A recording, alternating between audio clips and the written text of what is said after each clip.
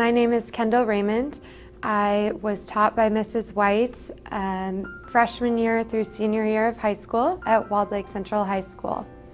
Mrs. White is special on a lot of uh, different regards. Uh, she is the most passionate person I've ever met. She's an artist by trade and a mother by night, and uh, her creativity and her passion for life in general is something that she translates into the classroom every day. And it's not an ordinary classroom. It's artistic, it's structured but unstructured, and it is um, a place where students want to be, where they can grow and develop as people and not just as students.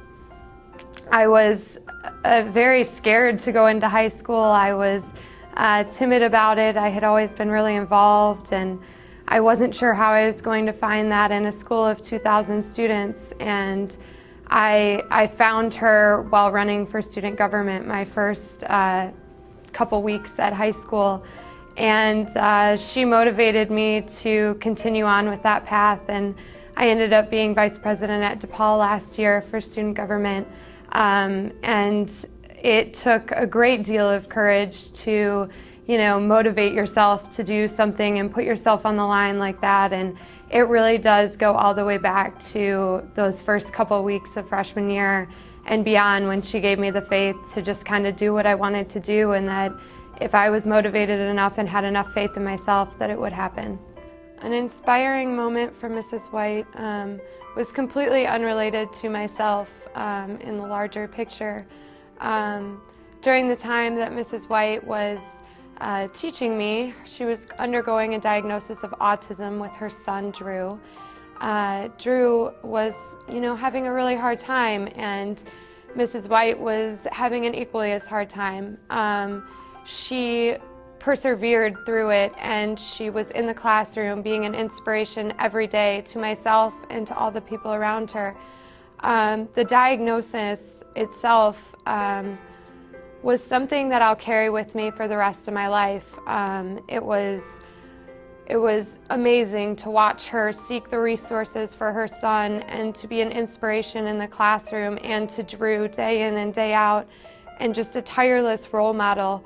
Um, at the time, you know, we we look at our parents and we think they're crazy or we're going through that phase where they're just not that cool. Um, and as I grow up and I look back on that, I, I see what parents do for us as we grow up.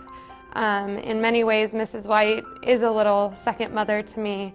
Um, and as I grow older and begin to appreciate these things more and more, um, I appreciate the way in which she was able to involve her students in that diagnosis and to be a real person about it and to share her pain and to share the successes with us um, because as she moved forward, so did we.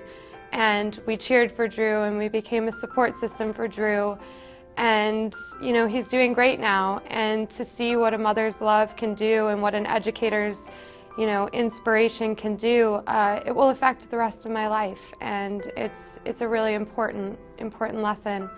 Um, tying that all together, it's also this notion of make sure you keep time for your family in the business world. That can be hard, and um, I will never forget that. I learned that the best way I could. Mrs. White, what do I have to say to you? Um, thank you does not seem good enough. Um, for all the years that you have been a tireless role model and a tireless mentor, I, I appreciate it from the bottom of my heart.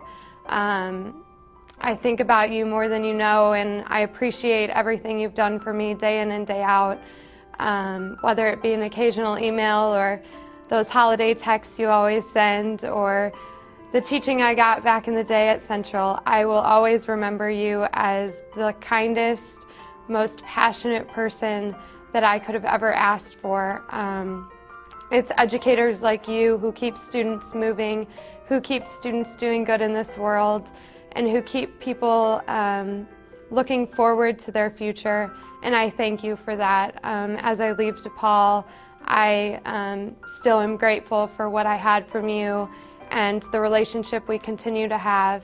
And I appreciate it. And I wish you the best and thank you.